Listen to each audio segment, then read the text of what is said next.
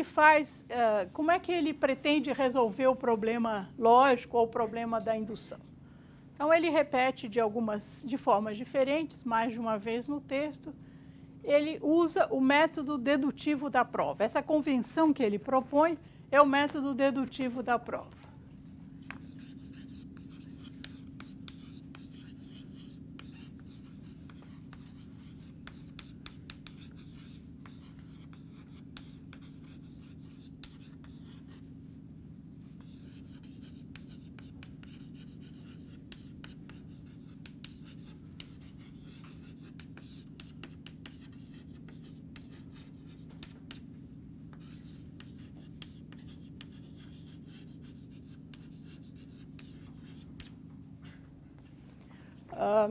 Deixa eu só fazer uma observação de natureza linguística para vocês neste ponto.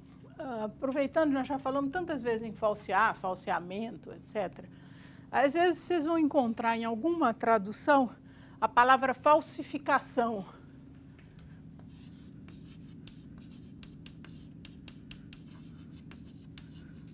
Uma hipótese foi falsificada. Né?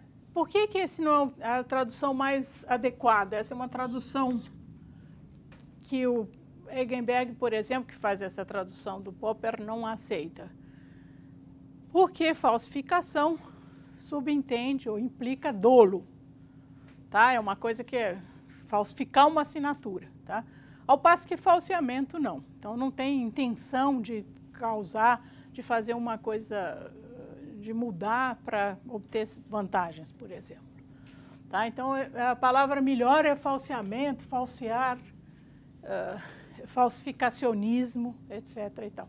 Falseabilidade e não falsificabilidade, etc. O que, que é essa simetria, verificação, falseamento? Então, o método dedutivo da prova ele é dedutivo.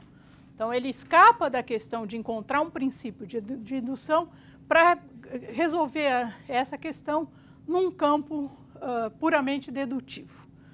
Qual é o método dedutivo da prova? Por que, que o método dedutivo da prova implica essa assimetria aqui?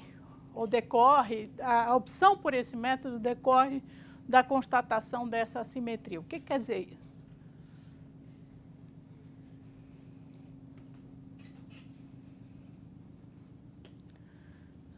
Como você chama mesmo? Érica, você consegue ajudar a gente? A professora estava anotando outra coisa, não prestei atenção. Sei. Então, vou repetir a pergunta. a simetria, método dedutivo da prova está ancorado na ideia de que existe uma simetria lógica entre verificação e falseamento.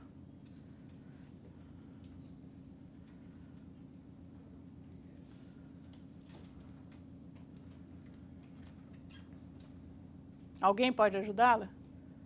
Porque você precisa pensar nestes dois polos. Ou a prova é verificada, ou ela é falseada.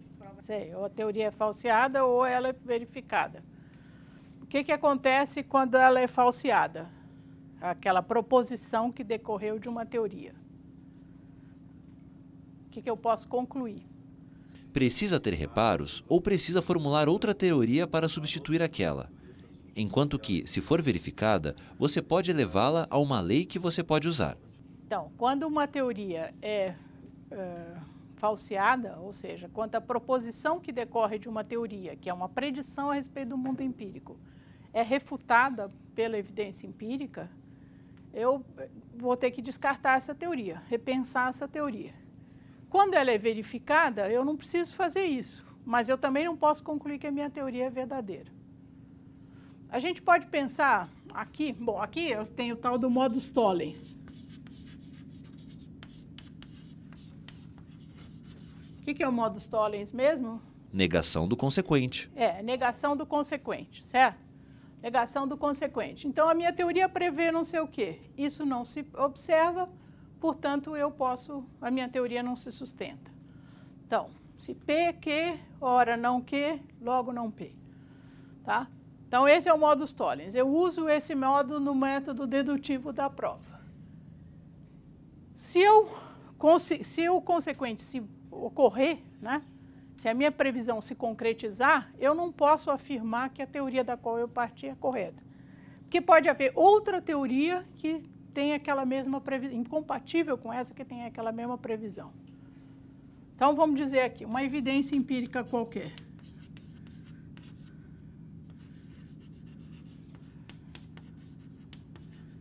Essa, teoria, essa evidência pode ser explicada pela teoria 1,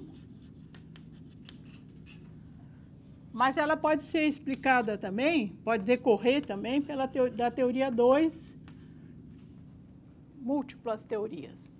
Múltiplas teorias podem ter a mesma previsão empírica.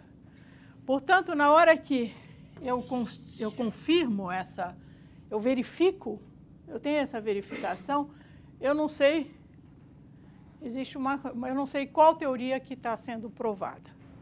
Portanto, eu não posso dizer nada, eu simplesmente tenho que prosseguir minha investigação na convenção de Popper, tentando ser o mais severa possível em relação ao teste teórico. Bom, isso daqui é um ponto essencial no texto.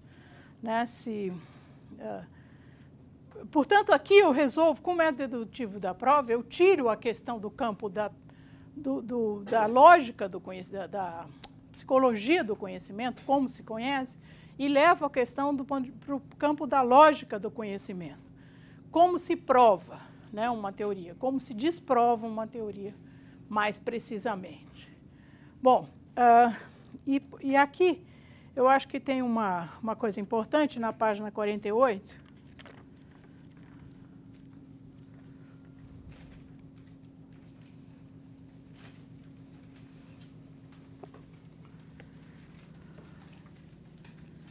Voltemos agora a um ponto que assinalei na sessão anterior. A minha tese de que uma experiência subjetiva, um sentimento de convicção, jamais pode justificar um enunciado científico e que dentro dos quadros da ciência ele não desempenha papel nenhum, papel algum, exceto de objeto de uma investigação empírica psicológica. Por mais intenso que seja um sentimento de convicção, ele jamais pode justificar um enunciado. Assim, posso estar inteiramente convencido da verdade de um enunciado, estar certo da evidência de minhas percepções. Tomado pela intensidade de minha experiência, toda dúvida pode parecer-me absurda. Mas estaria aí uma razão qualquer para a ciência aceitar meu enunciado? Pode qualquer enunciado encontrar sua justificativa no caso, no fato de KRP estar totalmente convencido de sua verdade? A resposta é não. E qualquer outra resposta se mostraria incompatível com a ideia de objetividade científica. Se vocês entenderam esse, esse ponto dele, esse argumento, vamos pensar aqui, vamos pensar aqui na, na, nas várias vezes que o Popper recorre à palavra psicologia, a, a ideias da psicologia.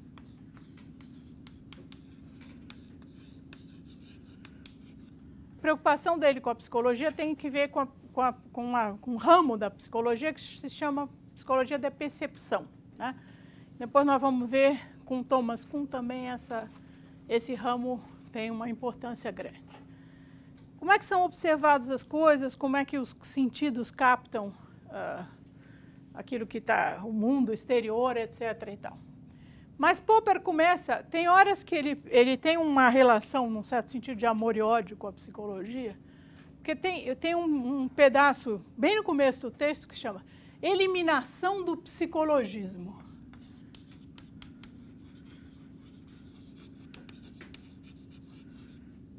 Ele quer eliminar esse psicologismo. Ele não quer eliminar a psicologia, mas o psicologismo. Em que sentido ele quer eliminar o psicologismo? Né, justamente nessa crítica que ele faz ao ciclo de Viena. Né? Então, dizer que, por que, que é? Quando você tem aqui o sufixo ismo, você está pensando numa doutrina.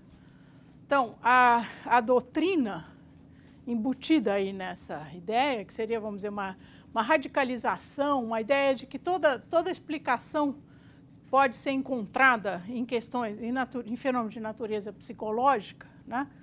Então, a, a demarcação ele não quer encontrar no psicologismo.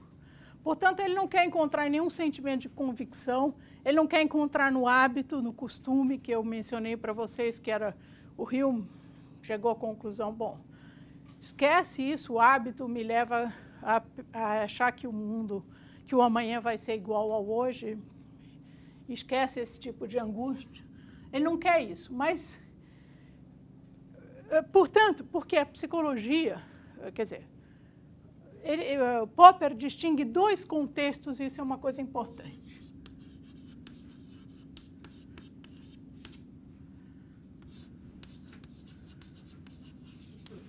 Oi. Essa convicção do cientista, ela também pode não ser adequada ao método, mas ele admite que pode dar um direcionamento. Não, mas aí não é questão de convicção. A convicção que ele está usando no sentido de a minha teoria está certa e não abro mão dela.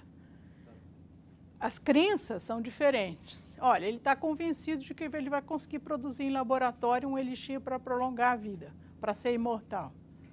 Tá? Então não é esse tipo de convicção que ele está falando. Bom, então tem dois uh, contextos, a descoberta e o contexto da justificação ou prova.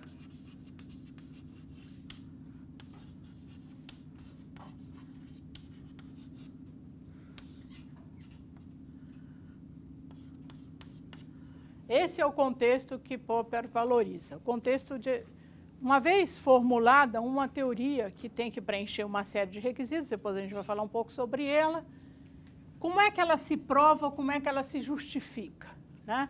Como é que ela é submetida a teste e como é que eu devo encarar os resultados desse teste. Ele não está preocupado e fala que isso é tarefa da psicologia do conhecimento ou psicologia da percepção, são ramos aparentados, vamos dizer, da psicologia, a descoberta é uma questão da psicologia, é uma questão de que a lógica não deve se ocupar, e nem a teoria do conhecimento. Uh, por quê? Porque a descoberta encerra um elemento irracional. São intuições. E isso a lógica não, não se manifesta a respeito. Vamos ver isso no, no, no texto. Ele acha que não é possível descobrir alguma coisa? Não, não. Não é que não acha. É, é bom você estar perguntando, porque essa dúvida deve estar uh, na cabeça de outros, se você está formulando claramente. Não é que ele. Como é que é que você perguntou? é bom, mas eu esqueci. ah, que não é possível descobrir. Não é isso que ele fala. Ele, ele fala que a questão de onde vêm as ideias não é uma questão da lógica do conhecimento. As ideias vêm de algum lugar, às vezes de alguma crença que depois vai se revelar uma superstição. Mas não é esse, não é isso que a gente tem que se preocupar como lógica, como uh, na metodologia da ciência. A gente tem que se preocupar é que essa descoberta é uh, enquadrada numa teoria científica qualquer. Essa teoria gera certas predições a respeito do mundo. Como é que essa teoria se justifica? Como é que ela é provada ou, ou é desprovada? Esse é o foco do Popper, não é o foco de onde vêm as ideias. Então, não importa, assim, pensar assim, ah, como é que se descobriu a lei da gravidade? Ah, Newton estava sentado embaixo de uma macieira, e aí resolveu descansar, depois do almoço, sentou embaixo da macieira, Aí, de repente, caiu uma maçã na cabeça dele. Aí ele pensou assim, puxa, já pensou se fosse uma jaca? Né? Então, começou a elaborar. Não, aí tem forças que atraem os corpos em queda livre, etc. E tal. Ou o outro estava na banheira e levou choque, eureka, etc. E tal. Essa historinha, para Popper, não é que ela não exista, é que não importa, do ponto de vista da filosofia da ciência, não é isso que tem que ser uh, discutido as, essas descobertas, seja de que intuição criadora elas vierem, elas são inseridas num sistema teórico. E a preocupação dele é como esse sistema teórico pode ser colocado à prova. Tá? Mas ele nega que a partir de uma justificação ou prova de um sistema teórico pode-se chegar a uma descoberta? Não, não. Uh, Para ele, são, o momento da descoberta é um momento separado do momento da prova. E a, a, explicação racional da descoberta não compete à filosofia da ciência. Compete, no máximo, à psicologia do conhecimento. Tá? Filosofia da ciência, tudo bem, é, são coisas intuitivas, portanto não tem explicação no campo da lógica da ciência. Uh, prosseguindo aqui na página 48, eu já tinha falado da questão do, do sentimento de convicção. Uh, então, comecei assim. Alguém vai ler a continuação para mim. Pode qualquer enunciado encontrar justificativa no caso, no fato de K.R. Popper estar totalmente convencido de sua resposta, de sua verdade? A resposta é não. E qualquer outra resposta se mostraria incompatível com a ideia de objetividade científica. Mesmo o fato, para mim tão firmemente estabelecido, de que estou experimentando este sentimento de convicção, não pode colocar-se dentro do campo da ciência objetiva, a não ser sob forma de uma hipótese psicológica que deve, naturalmente, ser objeto de teste intersubjetivo. Da conjectura de que experimento este sentimento de convicção, o psicólogo pode deduzir, com auxílio de teorias psicológicas e outras, certas predições a respeito do meu comportamento. Essas predições ver-se-ão confirmadas ou refutadas no decurso dos testes experimentais Entretanto, do ponto de vista epistemológico, é irrelevante ser intenso ou fraco o meu sentimento de convicção. Provir ele de uma impressão forte e até mesmo irresistível de certeza indubitável, autoevidência, ou apenas de uma duvidosa suposição. Nada disso tem qualquer importância para o problema de como devem ser justificados os enunciados científicos. Tá, então aqui essa frase Nada disso tem qualquer importância para o problema de como devem ser justificados os enunciados científicos. Você está preocupado é com a justificação. Não importa se o cara está totalmente convencido, se ele está médio convencido, a intensidade do sentimento de convicção, aliás, o sentimento de convicção não interessa à ciência, a menos que ele seja objeto de uma análise, de uma investigação científica. Tá? Uh, uma hipótese psicológica, etc., como ele vai dizer. Tá? Então, acho que isso é uma coisa importante. Aí, nós, uma, uma vez, mais de uma vez, ele faz referência a uma coisa que veio na literatura a ser conhecido como trilema de Fries, de Fries, deve ser.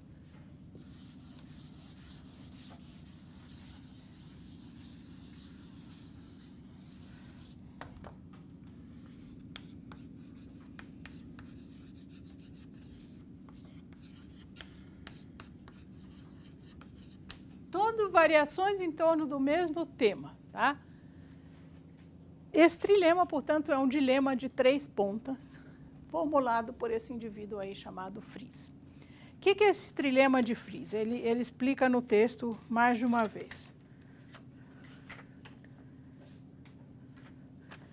Como é que eu saio dessa questão lógica do princípio da indução? Eu tenho três caminhos e todos eles são fajutos, daí o trilema. Todos eles não, não conseguem encontrar uma resposta uh, adequada, satisfatória do ponto de vista lógico. O primeiro seria uma regressão infinita.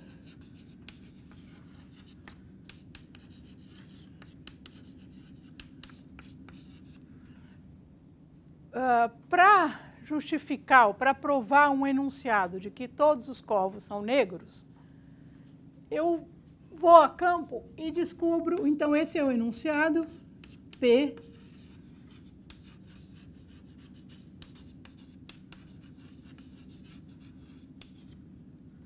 Eu vou a campo e percebo que o, cis, que o corvo número 101 é negro. Mas eu não consegui chegar a essa, mas ainda não consegui provar, eu vou para o P2 enfim, e o meu caminho aqui é infinito. Eu nunca vou conseguir justificar por regressão infinita. Portanto, esse é um caminho. Uh, uma regressão infinita, a gente pensa, por exemplo, na história do ovo e da galinha. Quem nasceu primeiro, o ovo ou a galinha? Esse é um típico problema de regressão infinita. Ou a concepção de que o mundo uh, está assentado numa tartaruga, como os antigos, alguns antigos acreditavam, que por sua vez está apoiada em outra tartaruga, em outra tartaruga, assim infinitamente. É um caso de regressão infinita. Então, esse num caminho não dá certo. O outro caminho é o do psicologismo. Tá? eu estou convencido de que é assim. Tá? Eu estou convencido de que minha teoria é certa. A maioria dos cientistas, quando trabalha numa teoria, treinado numa teoria, ele está mais ou menos convencido de que ele está na teoria certa. E ainda que ele tenha algumas dúvidas, ele engole essas dúvidas e exerce uma espécie de auto-engano. Não, a minha teoria é certa, eu estou defendendo, estou ensinando para os alunos, portanto, eu não, eu não devo sufocar minha dúvida em relação a ela. Então, essa seria a saída do psicologismo. Tá? A saída do rio também é o hábito que me leva a pensar que o sol vai nascer amanhã. E a terceira saída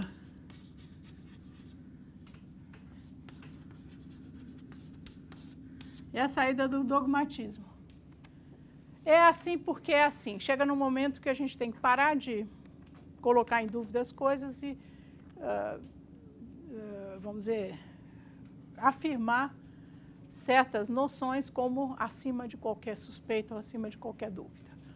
Então, essa saída, essa saída por questões lógicas, o Popper uh, refuta. Essa saída é uma saída absolutamente contra toda a filosofia, e não só a filosofia do conhecimento, mas a filosofia de uma maneira geral do Popper.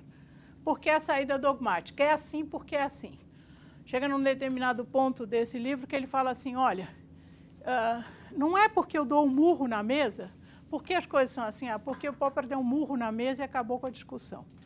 Isso não tem nada a ver com a ciência, a ciência não tem, não, não procede dessa forma. Né? De modo que nenhuma dessas três saídas resolve o problema da indução. Eu preciso resolver esse problema de, de outra forma. Como eu faço? Criativamente, Popper diz, vamos, vamos sair do campo da indução e partir para o campo da dedução. Então, vamos formular uma teoria e colocá-la à prova, e se essa teoria for rejeitada empiricamente, uh, eu consigo, logicamente, sustentar o meu ponto de vista aí a respeito.